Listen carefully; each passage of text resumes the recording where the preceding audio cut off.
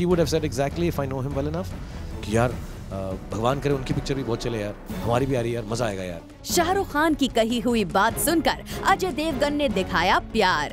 It is very sweet of him कि उन्होंने कहा कि यश जी भी अगर होते तो यही चाहते कि दोनों फ़िल्में आए। भगवान करे उनकी पिक्चर भी बहुत चले यार। हमारी भी आ रही है यार मज़ा आएगा यार। It is very sweet of him कि उन्होंने कहा कि यश जी भी अगर होते तो यही चाहते कि दोनों फ़िल्में आए। लेकिन यार ये सब बेकार विदाउट सन ऑफ़ सरदार क्योंकि आखिरकार इन दोनों स्टार्स की फ़िल्मों के बीच चल रही लड़ाई अब एक कानूनी जंग का रूप लेकर सबके सामने खुलकर आ गई है। उन्होंने ऐसा रिक्वेस्ट नहीं किया। कौन बोल रहा है ये? जरा हाथ दिखाइए। आपको शाहरुख साहब ने खुद फ़ोन करके ये नहीं बोला। नहीं नहीं ऐसा नहीं है। तो ऐसा सुनने में आया नहीं फिर आपने थोड़ा सुनने में प्रॉब्लम है। है जी नहीं, ना तो सुनने में कोई प्रॉब्लम हुई है और ना ही समझने में। बस टाइमिंग थोड़ी गड़बड़ हो गई है, क्योंकि यशराज फिल्म्स की जब तक है जहाँ के सामने, दूसरी फिल्म्स के लिए सिर्फ़ 20 टू 30 परसेंट स्क्रीन छोड़ने की स्ट्रेटेजी से नाराज़ अजय देवगन का कानूनी वार इससे पहले कि अपना कोई कमाल दिखाता। यश जी के सडन डिमाइस की खबर ने बॉलीवुड को चौंका दिया। जब अजय देवगन की कानूनी लड़ाई दुनिया के सामने आती तो एक बड़ा हंगामा ज़रूर होता और बॉलीवुड में एक बड़ा डिबेट भी शुरू हो सकता था।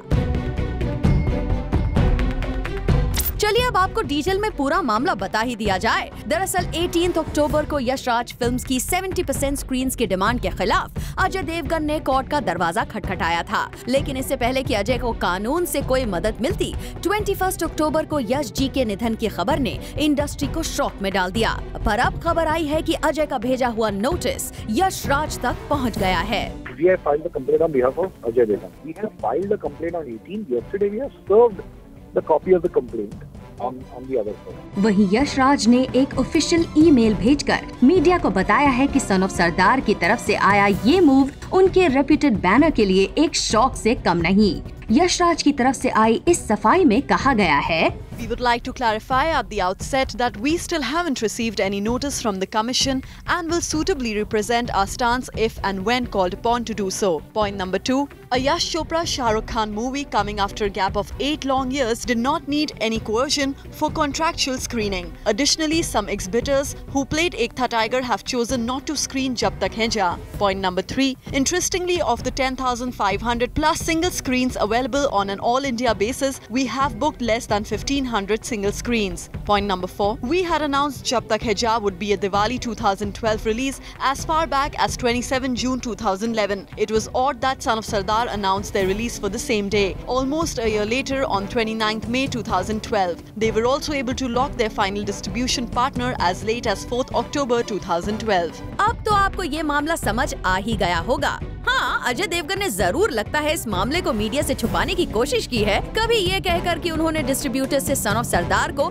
जब तक है जहाँ के बराबर स्क्रीन देने के लिए कभी कोई बात नहीं की।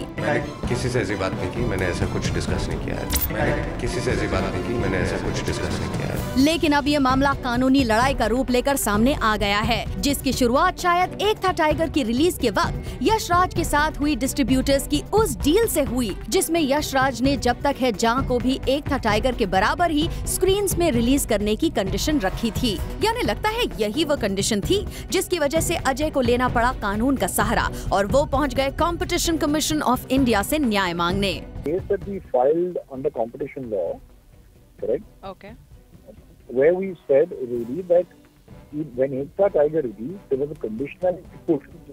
By Ashraj saying that we will give you Ekta Tiger on the condition that you will take our next film. We have said that this conditionality, correct, is anti-competitive under Section 3.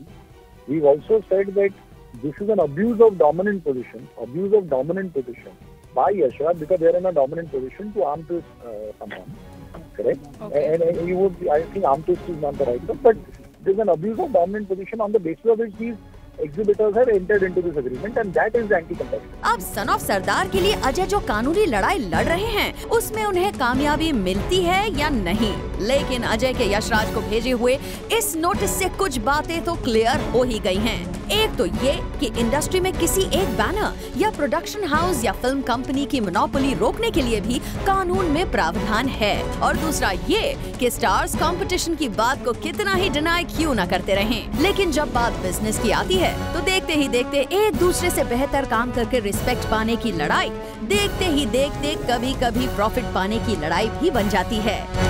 For Ilika Srivastava zoom Mumbai